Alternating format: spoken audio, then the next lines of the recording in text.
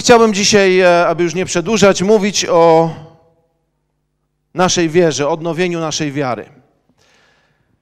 I dzisiaj e, chciałbym swoje słowo skierować do tych, którzy być może czują się nieco zawiedzeni swoim życiem.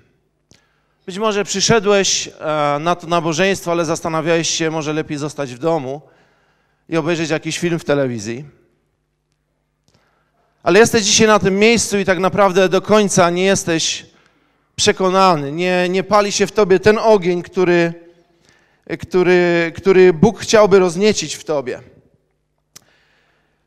Kiedy patrzymy za okno, i szczególnie dla mnie to jest wielkim przeżyciem, kiedy widzę w jaki sposób Polska, w jaki sposób okolice, domy, ulice pięknieją.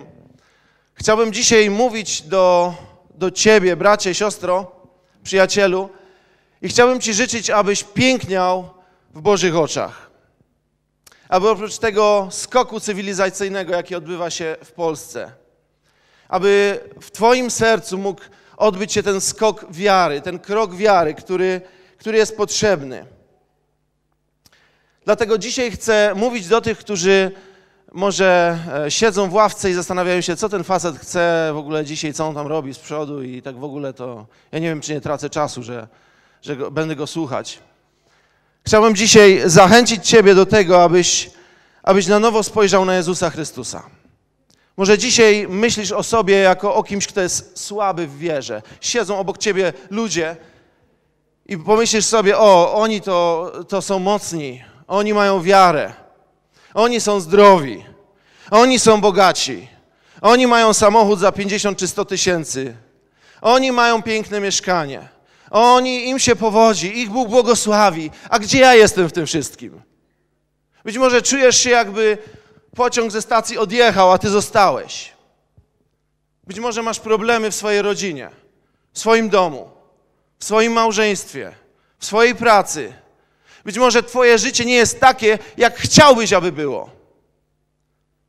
Kochany, dzisiaj chcę właśnie mówić do takich osób, jeżeli, jeżeli dzisiaj e, nie jesteś w takiej sytuacji, być może będziesz się trochę nudził, ale Bóg położył mi na serce tych ludzi, którzy dzisiaj być może siedzą i nie okazują tego na zewnątrz, ale tak naprawdę jest frustracja, przygnębienie, a może nawet depresja w Twoim sercu i zniechęcenie.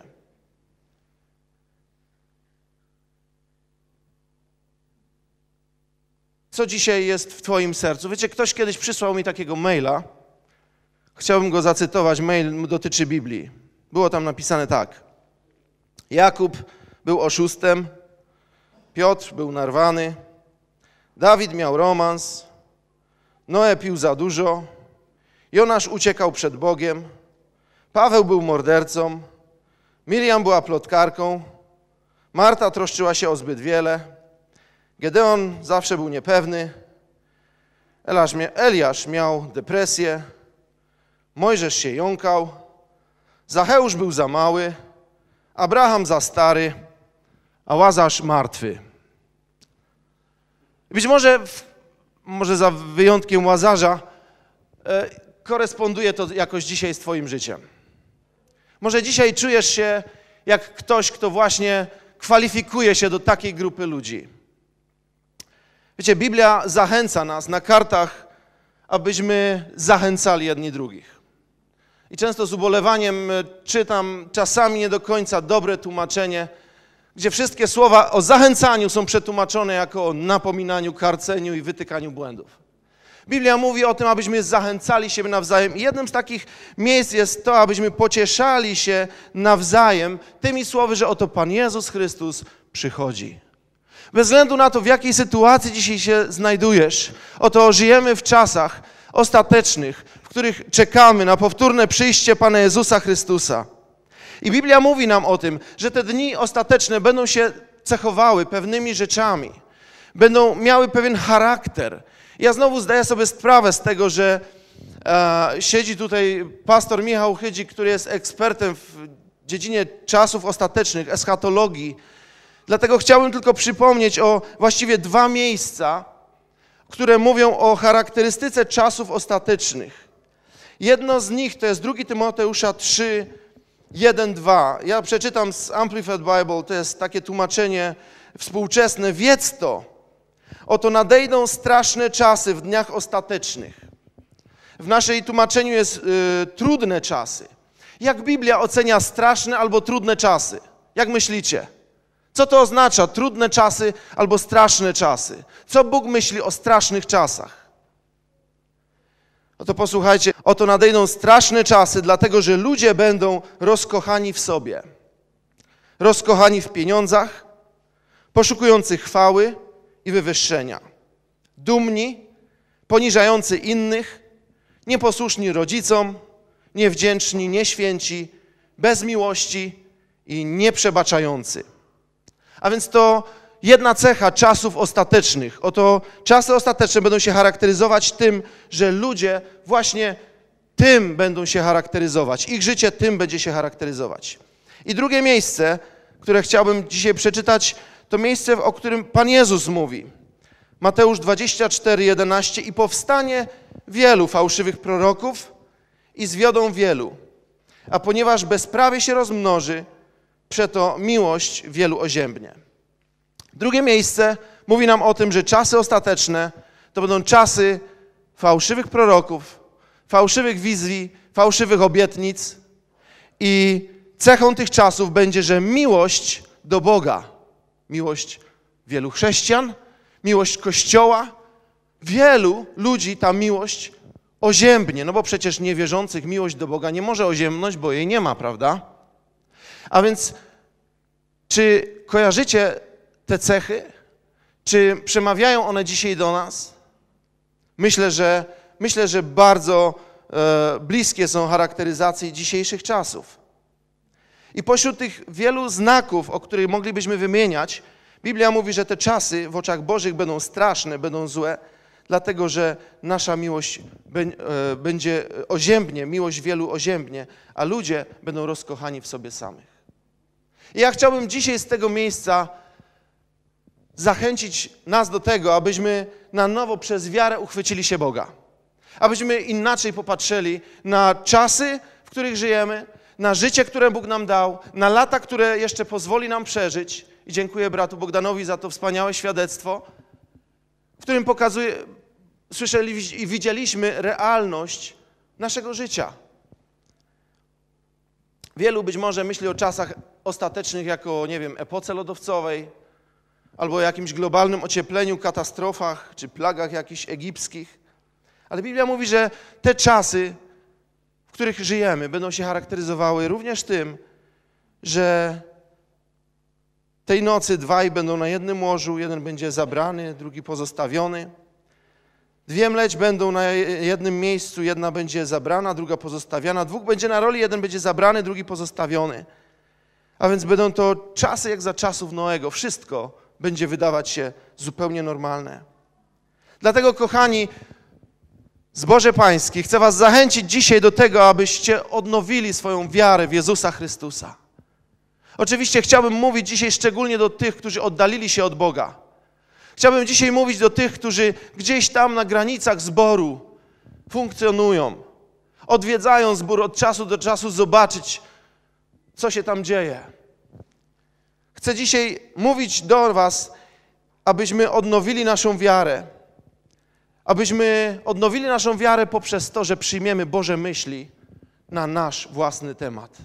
Wiecie, w tych czasach słyszymy wiele różnych pomysłów na nasze życie, wiele różnych opcji, wiele różnych nauk, wiele różnych filozofii, wiele różnych kultur, religii. Ale ja dzisiaj chcę powiedzieć o sześciu rzeczach, o, o sześciu myślach, którymi Bóg myśli o Tobie i o mnie. Jak Bóg patrzy na moje i na Twoje życie. Po pierwsze, chciałbym dzisiaj zachęcić każdego z nas do tego, abyś uwierzył, że Bóg Wszechmogący kocha Cię i akceptuje w zupełności. Czy wiesz, że Bóg Ciebie kocha i akceptuje Ciebie w stu procentach? Tak, on nie akceptuje grzechu. Tak, on e, nienawidzi grzechu, ale miłuje grzesznika. Dlatego posłał swojego syna, prawda? Cokolwiek wydarzyło się w Twojej przeszłości, cokolwiek ludzie mówią na Twój temat, czy wiesz, że Bóg Cię dalej kocha? Cokolwiek myślisz sam na swój temat, bez względu na to, co dzisiaj jest w Twojej i mojej głowie, Bóg miłuje Ciebie. Bóg kocha Cię. Bez względu na to, co złego zrobiłeś, jaki błąd popełniłeś w swoim życiu, czy wiesz, że jesteś pewny tego, że Bóg Ciebie kocha i On nie zrezygnował ani na moment swojego życia.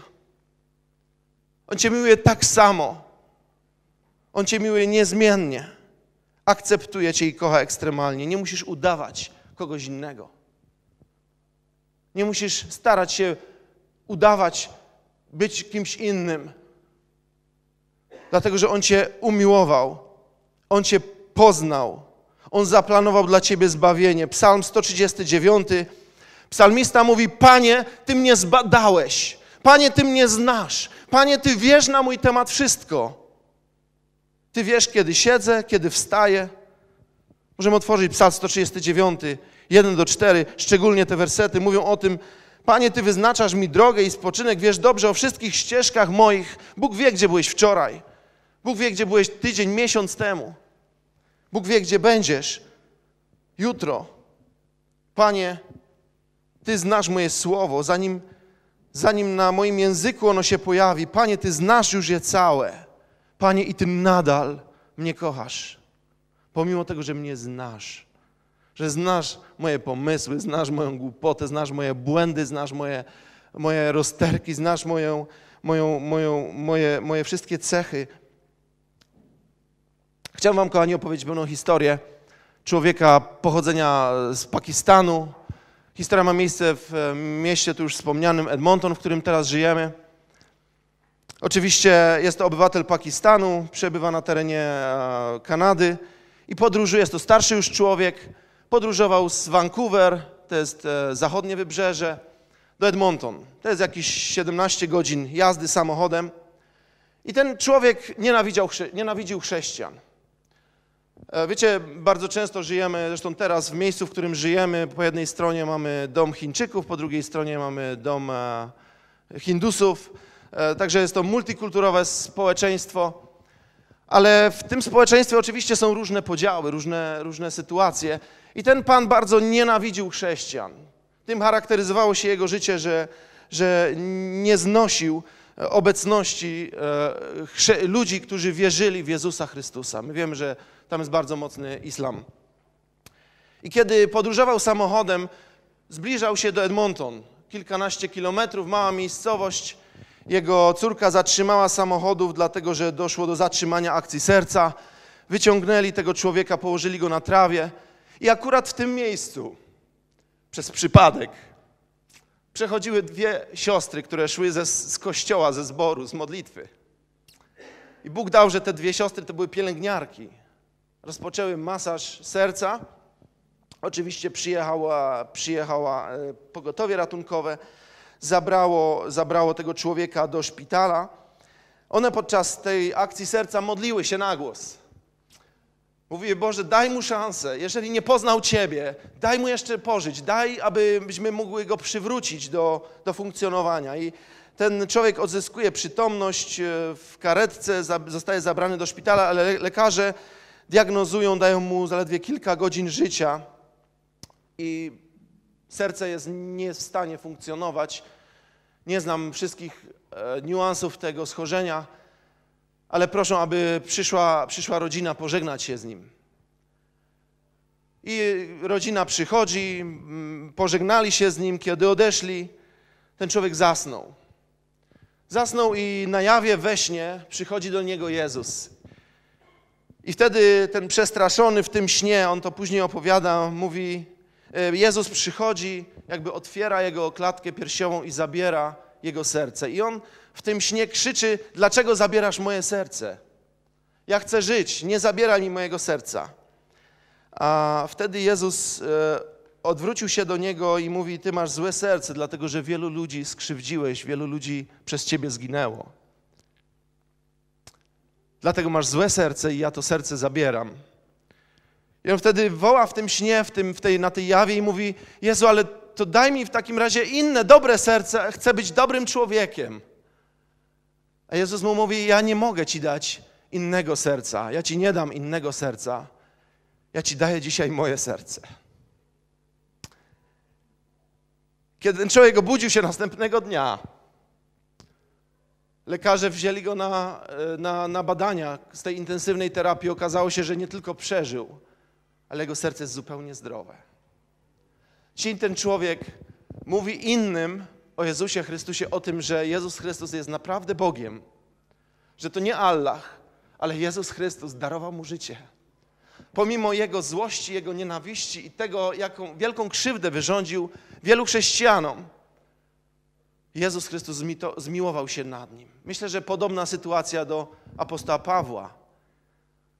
Dlatego, kochany bracie, siostro, jeżeli, drogi przyjacielu, jeżeli dzisiaj myślisz, że Twoje życie, tak wiele rzeczy złych wydarzyło się w Tobie i Bóg nie ma już miejsca, nie ma limitu łaski nad Tobą, chcę Ci powiedzieć, że Bóg Cię kocha, że Bóg Cię miłuje, że Bóg miłuje każdego człowieka i daje, daje nową nadzieję, daje, daje nowy początek.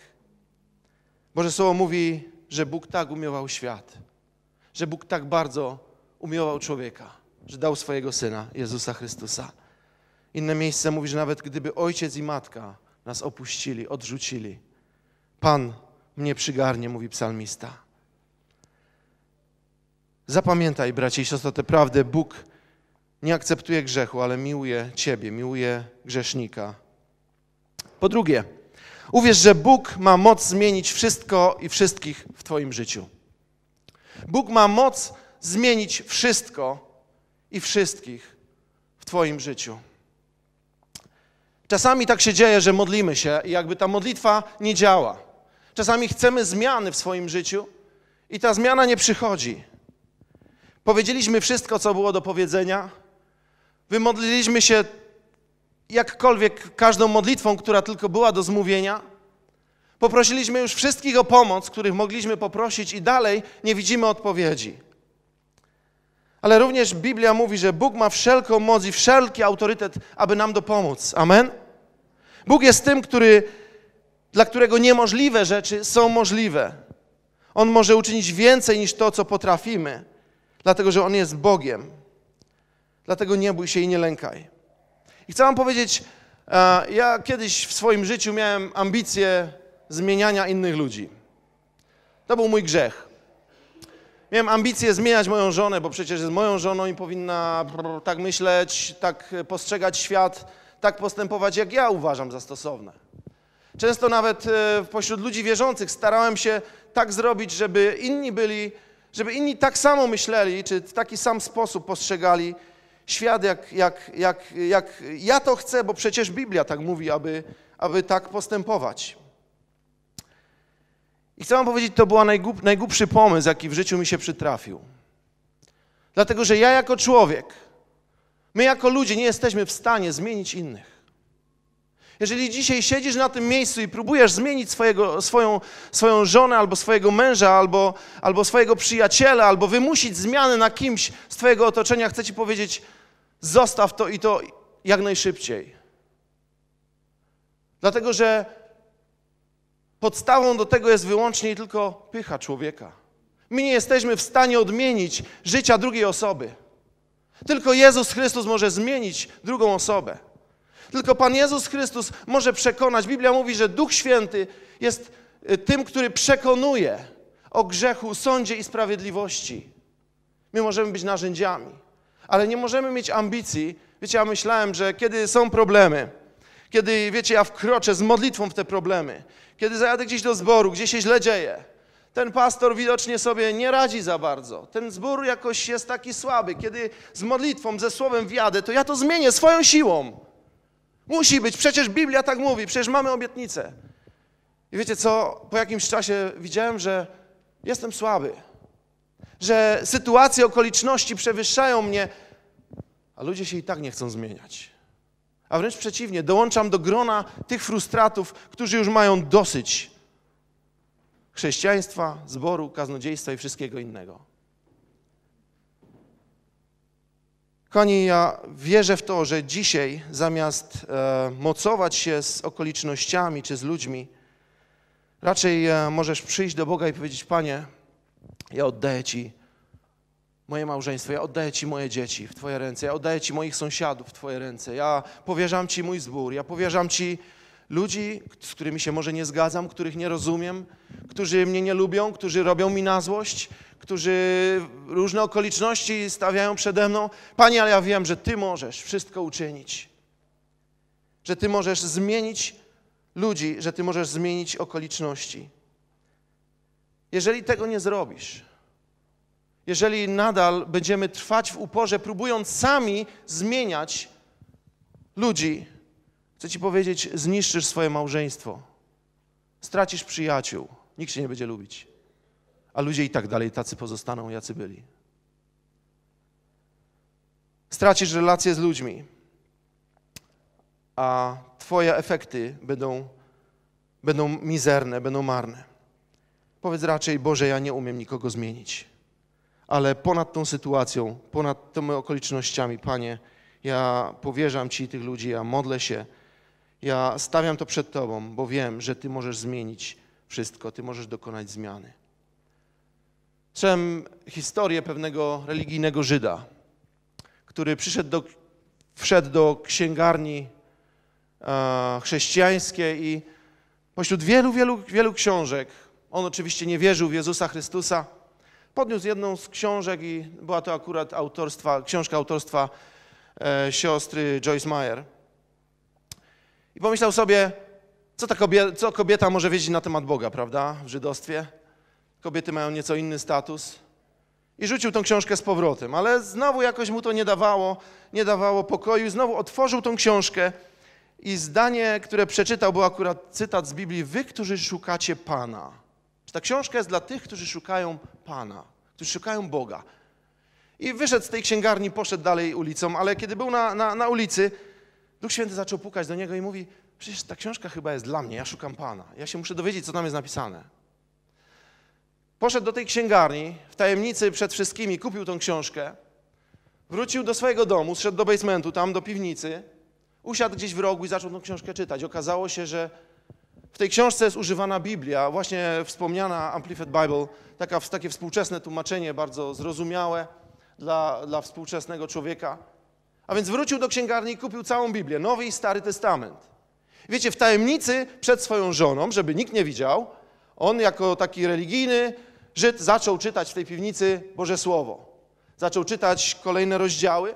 I pewnego razu, kiedy schodził do tej swojej piwnicy, żeby tam znowu się ukryć przed swoją rodziną, przed dzieciakami, przed żoną, wiecie, nakrył tam żonę. Że żona przy sprzątaniu znalazła jego Biblię.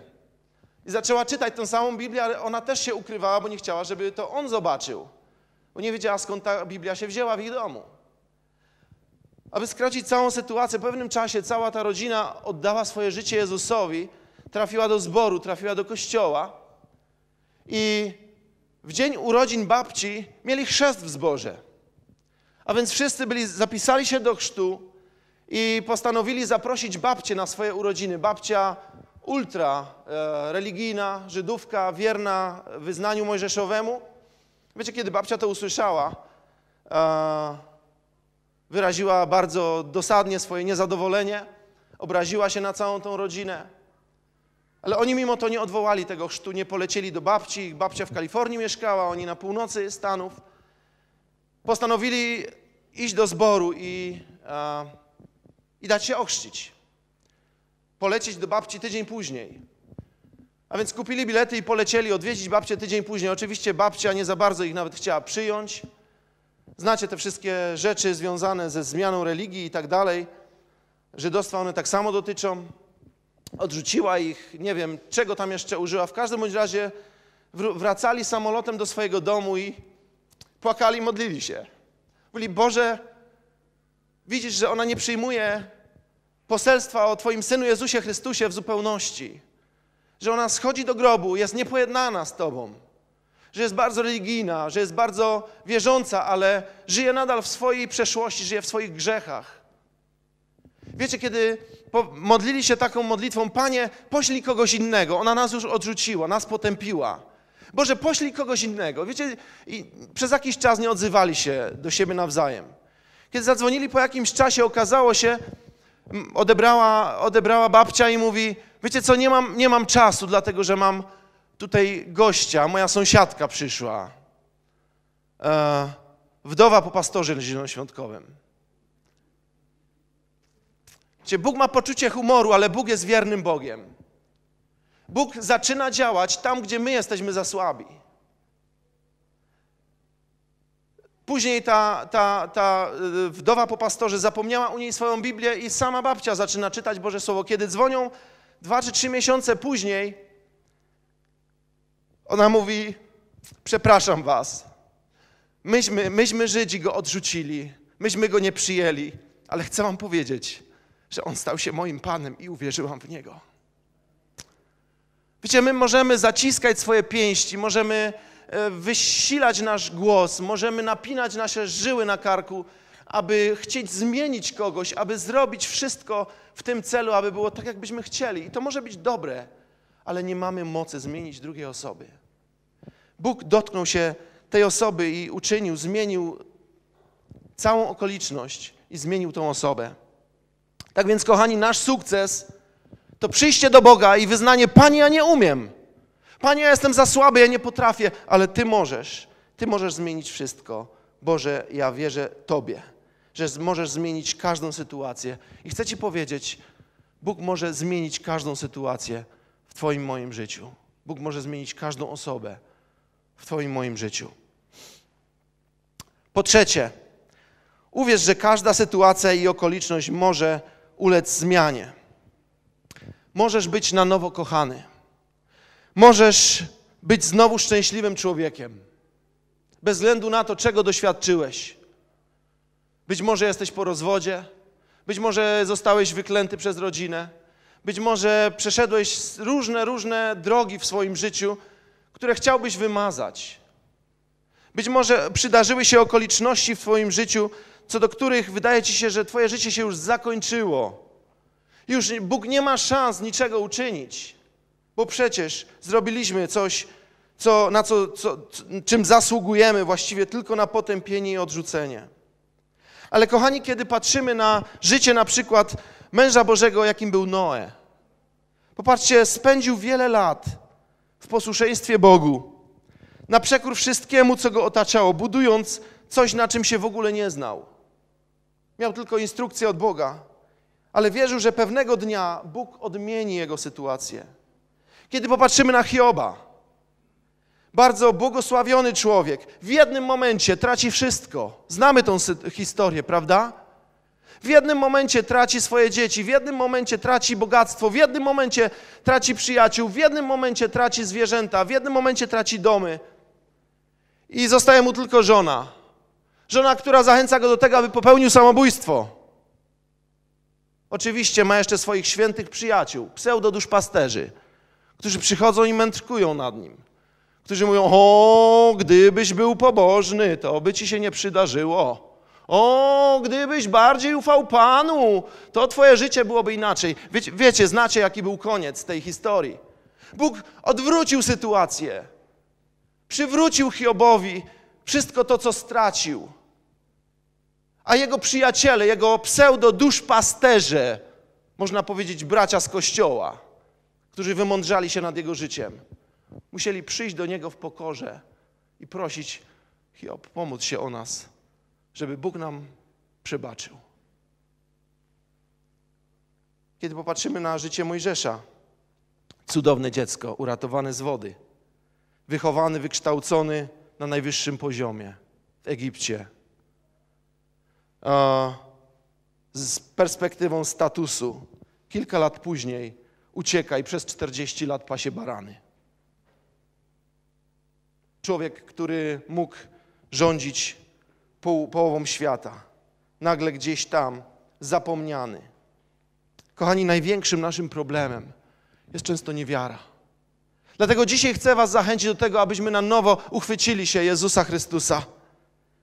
Biblia mówi, że Pan Jezus był na świecie i świat przezeń powstał, ale świat go nie poznał. Do swojej własności przyszedł, ale swoi go nie przyjęli, pisze Jan w pierwszym rozdziale, dziesiątym, jedenastym wersecie.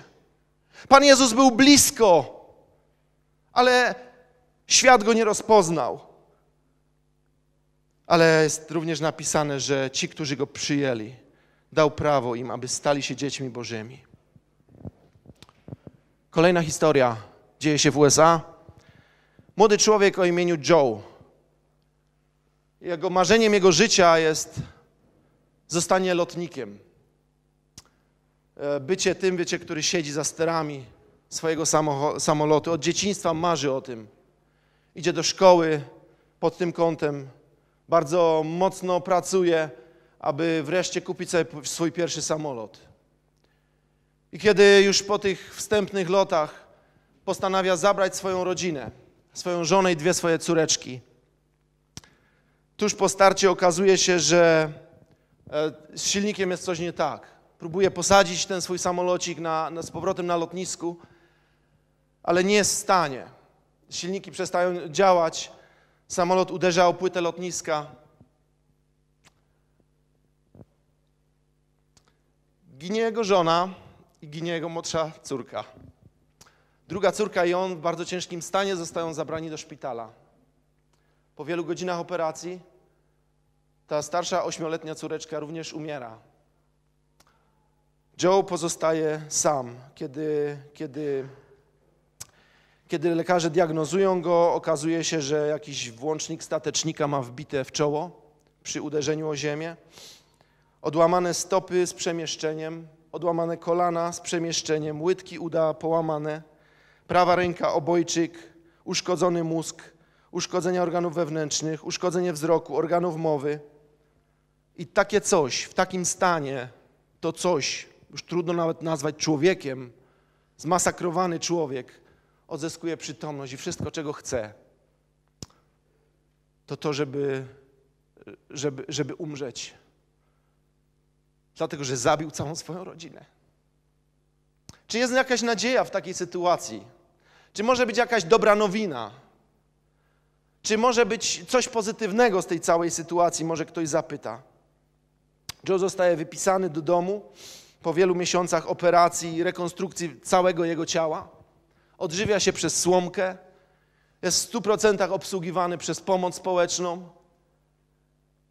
I wszystko, o czym marzy, to to, żeby dojechać tym elektrycznym wózkiem do okna i wyskoczyć z tego okna. Chociaż jest człowiekiem wierzącym. Chociaż poznał Jezusa. Jest w tak wielkiej depresji i desperacji, że prosi swoją opiekunkę o to, żeby go wyrzuciła przez okno. Ale wiecie, w tej desperacji, której żyje codziennie, otwiera swoje oczy i marzy o tym, żeby umrzeć tego dnia. Zaczyna się modlić. Zaczyna się modlić, być może modlitwą nie tuzinkową, ale szczerą. I mówi, Boże, okej, okay, jeżeli chcesz, abym tutaj pozostał, jeżeli chcesz, abym żył, to zrób, żebym był zdrowy. Szalona modlitwa, prawda? Boże, jeżeli mam nie umierać, jeżeli mam się nie zabijać, to ja chcę być Boże zdrowy. Pomóż mi. I wiecie, to, jest, to było niesamowite świadectwo, kiedy opowiadał ten człowiek, jak właściwie w zaskakujący sposób od tego momentu jego, jego, jego ciało jakby zaczyna, zaczyna się regenerować. Dlatego, że to, co u ludzi jest niemożliwe, u Boga jest możliwe. Kilka dni później odzyskuje wzrok. Po pewnym czasie zaczyna normalnie mówić. To był tylko bełkot, to co, to, co dotychczas wychodziło z jego ust. Jego nogi zaczynają, zaczynają się goić, te wszystkie przeszczepy, te wszystkie rekonstrukcje. Wiecie, kochani, dzisiaj Joe już nie marzy o samobójstwie. Bóg dał mu wierzącą osobę, wierzącą kobietę, założył drugie małżeństwo. Dzisiaj Joe jest w kościele. Dzisiaj Joe składa świadectwo na to, że Bóg żyje, że Bóg mu pomógł, że Bóg go wyciągnął z tak wielkiej depresji i przygnębienia. W księdze Izajasza, 40 rozdziale, 30 wersecie czytamy, że młodzieńcy ustają i mdleją, a pacholęta potykają się i upadają. Lecz ci, którzy ufają Panu, nabierają sił. Ci, którzy ufają Panu, którzy zdecydowali się zaufać Panu, wzbijają się w górę na skrzydłach jak orły i biegną, a nie mdleją, idą, a nie ustają. Być może jest ktoś dzisiaj na tym miejscu, kto się zmęczył. Być może jest ktoś dzisiaj na tym miejscu, który upadł. Oddaliłeś się od Boga. Być może nawet nie masz odwagi nazwać się chrześcijaninem. Być może jesteś osobą, co do, która już straciła nadzieję na to, że cokolwiek może się zmienić w Twoim życiu, ale również Biblia zachęca nas do tego, abyśmy nie żyli naszą przeszłością, ale abyśmy popatrzyli w przyszłość. Aby nasze życie nie było zdeterminowane tylko tym, co wydarzyło się kiedyś. Wiecie, Bóg dał, że mam możliwość e, usługiwać e, w polskich zborach, obecnie już nie tylko w polskich, ale tak się zdarzyło, że jestem zmuszony usługiwać po angielsku. Ale wielu ludzi, którzy wyjechało z Polski, wyjechało z ojczyzny, pomimo tego, że żyją gdzieś za granicą, zupełnie w innej rzeczywistości, 10, 15, 20, 30 lat, nadal żyją przeszłością. Nadal żyją tym, co wydarzyło się tutaj w kraju w latach 70., a może latach 60. Nadal ich przeszłe życie jest tak żywe, że przesłania im przyszłość, że przesłania im przyszłość, którą Bóg ma dla nich. Kiedy otwierają oczy każdego ranka, myślą o tym, jak to było gdzieś tam kiedyś, daleko, daleko w tym takim kraju, jak się nazywał Polska. Biblia mówi, abyśmy, abyśmy nie wspominali dawnych wydarzeń, Izajasz 43, 18, a na to, co minęło, już nie zważali. Dlatego, że Pan chce czynić nową rzecz. Dlatego, że Bóg chce rozwinąć nową rzecz. I mówi, czy tego nie spostrzegacie? Tak, przygotowuje na pustyni drogę, rzeki na pustkowiu. Jeżeli wybierzesz z Nim drogę, jeżeli zdecydujesz, że chcesz z Nim iść dalej w swoim życiu, Bóg mówi, ja zostawię Twoją przeszłość poza Tobą. Ja pomogę Ci uwolnić się od Twojej przeszłości, od traumy, cokolwiek w życiu złego wy, wy, uczyniłeś, cokolwiek wydarzyło się w Twoim życiu, cokolwiek ktoś inny wyda, y, zrobił złego dla Ciebie, ja pomogę Ci uwolnić się od tego, dlatego że chcę uczynić nową rzecz. Ja dzisiaj mam dobre rzeczy dla Ciebie, mówi Pan. I każda okoliczność Twojego życia może, może ulec zmianie. Kochani, jeszcze o dwóch rzeczach chciałbym powiedzieć, zanim, zanim zakończę. O dwóch Bożych myślach na Twój i mój temat. Abyśmy te Boże myśli przyjęli do naszego serca. I abyśmy, aby nasza wiara mogła, mogła wzrosnąć, aby nasza wiara mogła być, być tym, która nas poprowadzi dalej przez nasze życie. Kochani, po czwarte, możemy zrobić wszystko. Pozwólcie jeszcze raz powiem, chcę Was zachęcić do tego, abyśmy uwierzyli w to, że możemy zrobić wszystko, o cokolwiek nas Bóg poprosi. Cokol, z czymkolwiek Bóg przychodzi do Twojego życia, do czegokolwiek Bóg Ciebie zachęca i nakłania, chcę, abyś uwierzył w to, że możesz to uczynić. Skoro Bóg stawia to przed Tobą, skoro Bóg prosi Cię o to, skoro Bóg zachęca Cię do tego, to On również jest tym, który daje Ci moc i możliwość, abyś to uczynił. Czy pamiętasz w swoim życiu czas, kiedy Bóg przemawiał do Ciebie w wyjątkowy sposób? Kiedy słyszałeś Boży głos? Kiedy mówił do Ciebie przez sny, kiedy mówił do Ciebie przez słowo, otwierałeś Biblię i werset, który przeczytałeś, rzucał się na Ciebie i mówiłeś, Panie, dziękuję Ci, Ty mówisz do mnie i dałeś mi porady, wiem teraz, co mam zrobić. Jeżeli to jest tylko wspomnieniem, Bóg chce na nowo przywrócić to dla każdego z nas, dla Ciebie. Kiedy Pan pokazywał Ci różnego rodzaju rzeczy, widziałeś, że Jego głos Cię prowadził. Wiecie, ale później dzieje się w życiu każdego wierzącego coś, coś takiego. Przychodzi strach, przychodzi obawa. Co powiedzą ludzie? Szczególnie tutaj na Śląsku Cieszyńskim, kiedy wszyscy się znają, nie zawsze kochają, każdy sąsiad wie o wszystkim. Bardzo mocne te relacje międzyludzkie. Wiecie, przychodzi strach. A jak pójdę do tego zboru i tam mnie zobaczą? A jak pójdę na grupę? A jak będę się modlić? A jak przyznam się w pracy, że jestem człowiekiem wierzącym? A jak zrobię to? Panie, ja bym to zrobił, ale... I często poddajemy się, bo obawa, strach albo też porady innych ludzi sprawiają, że nasze życie wiary, nasze życie z Bogiem staje się szare, bez znaczenia, a Bóg gdzieś daleko, daleko, zupełnie nieskutecznym jakimś bożkiem. Ale Biblia mówi, że jesteśmy w stanie uczynić wszystko, to do czego Bóg nas zachęca i do czego, o co nas prosi. A kolejna historia, dzisiaj trochę historii z drugiej strony oceanu. Młode małżeństwo jadące samochodem, Volkswagenem gdzieś tam przez lasy BC, British Columbia, to jest tam na pograniczu Alberty i, i mm, Kolumbii Brytyjskiej. E, wypada z drogi, uderza w, e, w duży samochód, e, wpada do rowu. W zetknięciu z dużym samochodem terenowym te osobówki nie mają wielkich szans. A więc dzieje się wypadek w górach, daleko od cywilizacji. Podróżuje wtedy samochodem młoda rodzina, młode małżeństwo z dziećmi. Dojeżdżają, widzą ten wypadek i kobieta, żona wyskakuje z tego samochodu i widzi na poboczu leżącą dziewczynkę, która jeszcze ma przytomność, ma tam jakieś torsje, ale klęka przy tej dziewczynce i zaczyna się modlić. I zaczyna mówić: Boże, jeżeli ta dziewczynka nie poznała Ciebie, daj jej drugą szansę, aby mogła wrócić, aby mogła żyć, aby mogła poznać Ciebie, aby mogła się nawrócić. To dziecko traci przytomność, po jakimś czasie przyjeżdża karetka.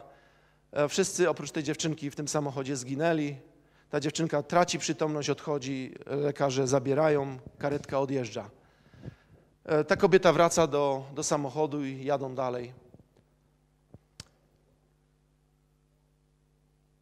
Po 12 latach pewna młoda kobieta jest u swojego ginekologa i na ścianie widzi obrazek, widzi zdjęcie.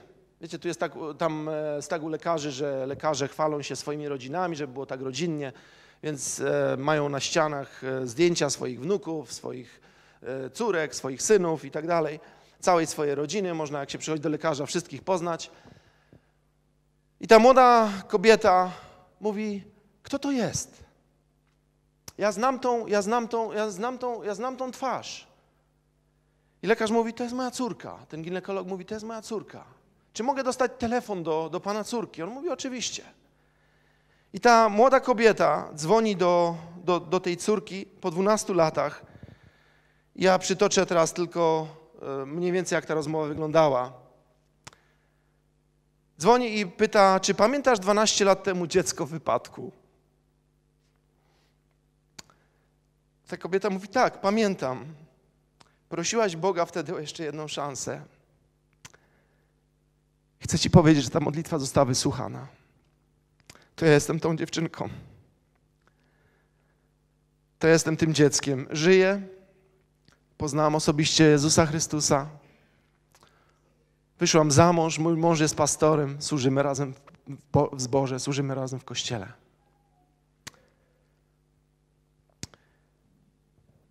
Drogi przyjacielu, nie mów, ja nie potrafię. Ta młoda kobieta była zachęcona tylko do tego, aby pomodlić się o to umierające dziecko. Być może w oczach ludzkich nie miało to większego znaczenia ani sensu. Przecież i tak umrze, zanim ktokolwiek tutaj dojedzie. Ale Bóg myślał inaczej. Ale Bóg posłał tą młodą dziewczynę, aby pomodliła się o to dziecko na poboczu. Wiecie, tak jak w historii Gedeona, kiedy Bóg przychodzi do niego i mówi: Pan z tobą, mężu waleczny. Gedeonie, Pan z tobą. A Gedeon patrzy i mówi: Co? Ja? Eee. Ty się musiałeś, Panie Boże, pomylić. Za pozwoleniem, Panie mój. Przecież ja jestem najmłodszy, najgłupszy, najbiedniejszy. Przecież ja nic nie mam. Ja z nie tego rodu. Ja nie taki wykształcony. Ja nie taki jak. Boże, nie, to na pewno pomyłka jakaś. Ale Bóg mówi do niego: idź w tej mocy i wybaw Izraela z ręki Midańczyków. Przecież ja cię wysyłam. Kochani, i to nie chodzi o naszą moc, ale o to ja cię wysyłam. Jeżeli Bóg zachęca ciebie, abyś coś zrobił, to w tej mocy masz moc, aby to uczynić. Może z jakiegoś powodu dzisiaj siedzisz na tym miejscu i nie umiesz powiedzieć dwóch pozytywnych zdań na swój temat. Być może kiedy patrzysz na swoje życie, masz tylko zażalenia do Boga, skargi i mówisz, Boże, jestem do niczego. Gdybym był jak tamten albo tamta. I szczególnie chciałbym to skierować teraz do młodych ludzi. Diabeł przychodzi do was bardzo często przez kompleksy. I widziałem w swoim życiu piękne dziewczyny, jak modelki, które mówiły: Jestem najbrzydszą osobą, jaka może być. Widziałem wspaniałych młodych ludzi, którzy mówili o tym, że ich, w ich życiu, e, o ich życiu nic nie ma sensu, oni nic nie mają, a byli jednymi z najlepiej sytuowanych finansowo ludźmi. Diabeł przychodzi z kłamstwem i chce ci wmówić, że nic dobrego w tobie, w twoim wnętrzu, w twoim życiu się nie przydarzy. Nie mów, jestem za młody, za słaby, zbyt wystraszony. Dlatego, że Bóg mówi, ponieważ ja będę z tobą, pobijesz Midańczyków. dlatego że ja będę z Tobą. Jesteś w stanie uczynić wszystko, co Ci powiem. Mogę to zrobić dzięki Bożej łasce. Dzięki Jego mocy jestem w stanie pokonać przeciwności. Dzięki Jego miłosierdziu jestem w stanie przejść przez trudny etap w moim życiu.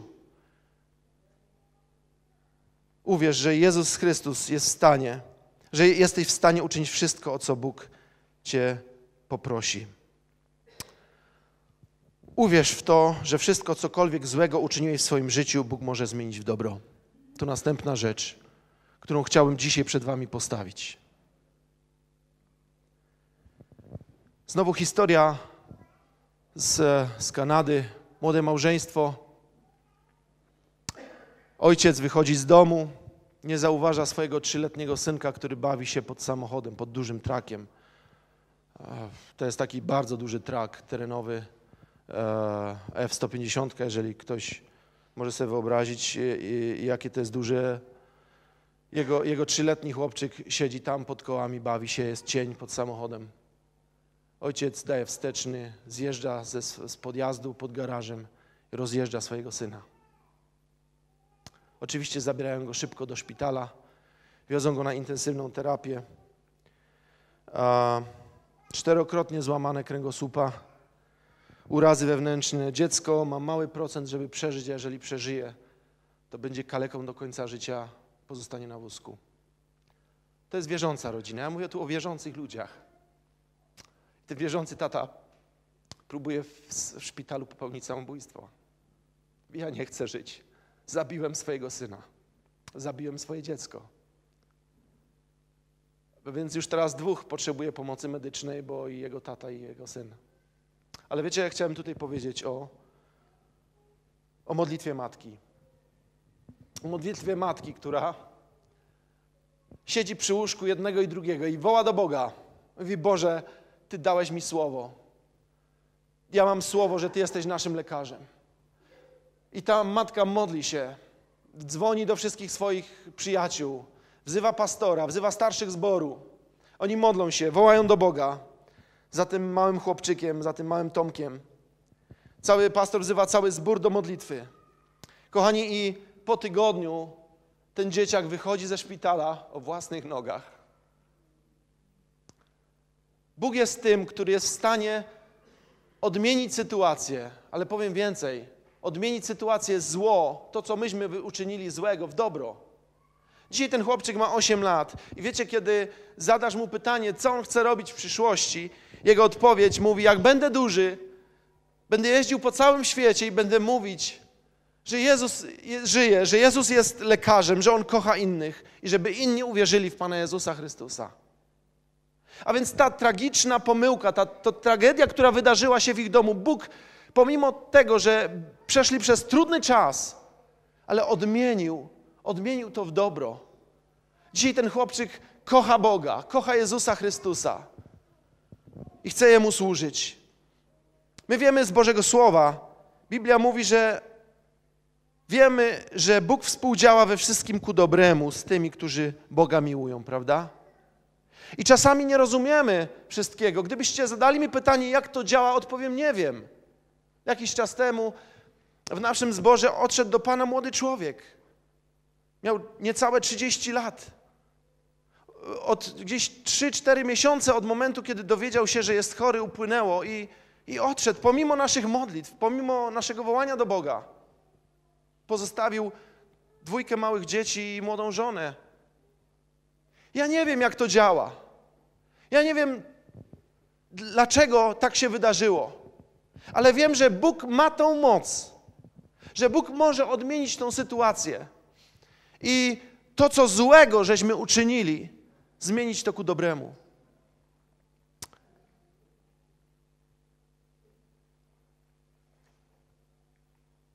Jeżeli coś złego wydarzyło się w Twojej przeszłości, bracie i siostro, chcę Cię zachęcić, szukaj Pana i uwierz w to, że On może odwrócić całą tą sytuację jeszcze dla Twojego dobra, dla dobra Twojej rodziny, dla dobra Twojego dziecka, dlatego że On jest wszechmogącym Bogiem.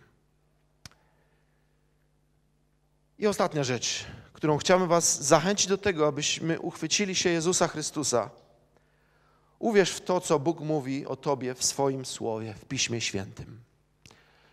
Wiecie, dzisiaj ludzie bardzo często wierzą swoim emocjom, swoim uczuciom. Ja jestem takim człowiekiem może zbytnio emocjonalnym i uczuciowym i zawsze jak gdzieś wychodzę na kazalnicę, to już szukam chusteczek. Ale Biblia zachęca nas do tego, Bóg zachęca nas do tego, abyśmy wierzyli Słowu. Nie uczuciom, nie emocjom, nie odczuciom, ale abyśmy wierzyli Słowu Bożemu. Abyśmy wierzyli temu, że On nas kocha, że On nie zrezygnował z nas, że On jest dobry.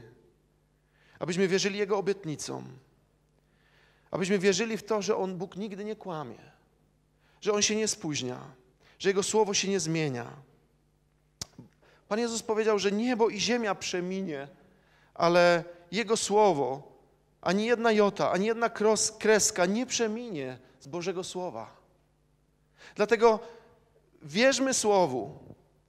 Pan Jezus powiedział, zaprawdę, zaprawdę powiadam wam, kto wierzy we mnie, ten także dokonywać będzie uczynków, które ja czynię. Ba, mało, i większe nad te czynić będzie, będzie, bo ja idę do Ojca. Bracie i siostro, dzisiaj ja nie chcę, abyś na tym miejscu przyrzekł mi, że będziesz wierzył w to, co ja ci mówię. Ale chcę zachęcić Ciebie, abyś wierzył Słowu, bo to Słowo jest wieczne, to Słowo jest wierne. To Słowo zawiera Boże obietnice, które mogą zrealizować się w Twoim życiu, jeżeli uchwycisz się tego Słowa, jeżeli zaufasz temu Słowu. Czasami Bóg działa poprzez to Słowo w zupełnie, moglibyśmy powiedzieć, mało religijny sposób. Ostatnia historia na zakończenie.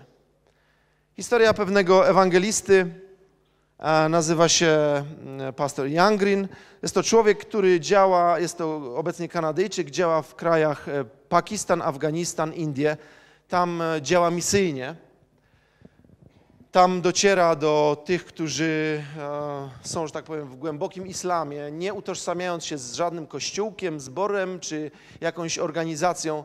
Idzie i głosi Jezusa i przychodzą miliony ludzi, przychodzą tysiące ludzi, a teraz to już chyba miliony, dlatego że przekaz satelitarny jest, którzy mogą słyszeć o Jezusie, o dobrej nowinie, o tym, że Jezus uzdrawia i że przebacza grzechy, że czyni wspaniałe rzeczy.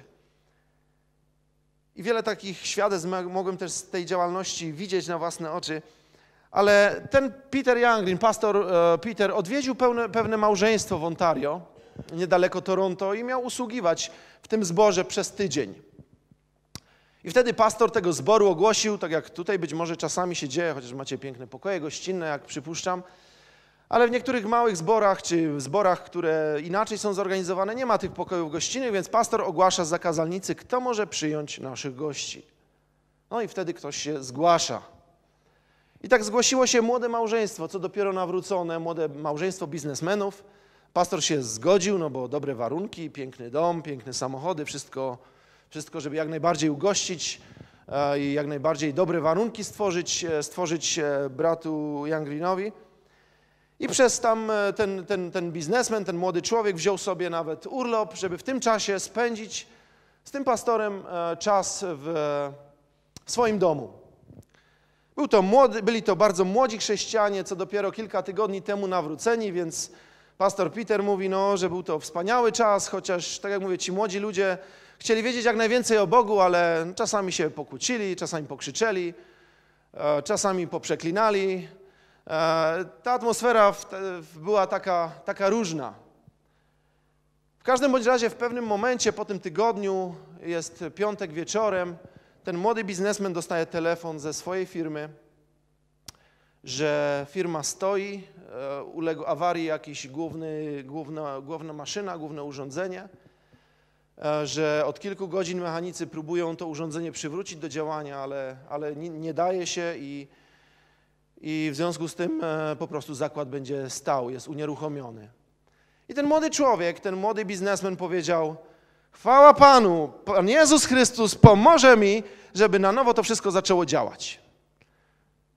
Wyskoczył z domu, wsiadł do samochodu, pojechał do firmy. No i brat Peter mówi, nawet nie zdążyłem wziąć Biblii do ręki, wytłumaczyć mu, że to tak nie działa. Że nie może wziąć i nagle tam nakazać maszynie w imieniu Jezusa Chrystusa, że ona ma działać, albo że, że firma nagle, o, Pan Jezus wszystko załatwi, to mechanicy są odnaprawiani, a nie, nie, nie Duch Święty.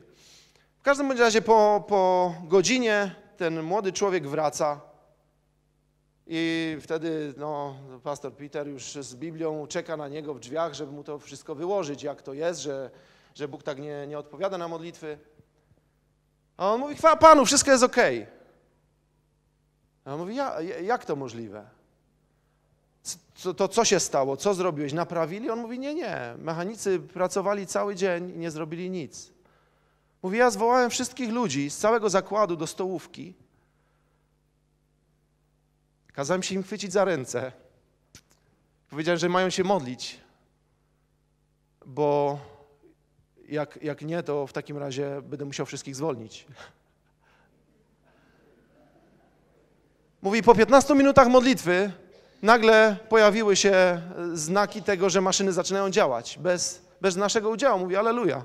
Pan Jezus mnie wysłuchał. I wiecie, to było takie świadectwo, w którym e, ten pastor Peter mówi, zawstydziłem się, dlatego że jego wiara, chociaż nie był doskonały, on przeklinał jeszcze przy obiedzie. On jeszcze tam mówił, jakieś głupoty opowiadał. Ale jego wiara w to, że Bóg może mu pomóc, była większa niż moja. Ja chciałem tłumaczyć Boga, dlaczego Bóg mu nie pomoże. A on przyszedł szczęśliwy, że Bóg dotknął się i, i ta modlitwa, którą ze swoimi pracownikami się zmówił, poskutkowała. Kochani, dzisiaj a, chcę Was zachęcić do tego, abyśmy brali Jego słowo, Jego obietnice i abyśmy wierzyli Jezusowi Chrystusowi. Pan Jezus powiedział, kto wierzy we mnie, ten także będzie dokonywać uczynków, które ja czynię, a nawet większe nad te czynić będzie. Dziękuję serdecznie za tą możliwość usłużenia tego, tego, tego dnia na tym miejscu. Jest to dla mnie wielkim przywilejem, że mogłem się z Wami podzielić tym słowem.